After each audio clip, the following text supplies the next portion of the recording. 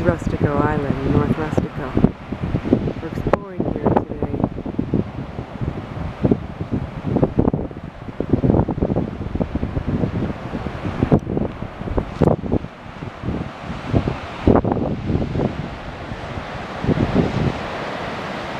Another beautiful spot people love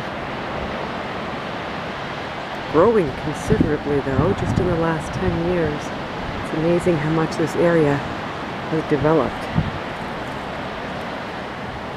Look at the beautiful seaside cliffs. What a beautiful spot this is. A lot of new homes going up here too.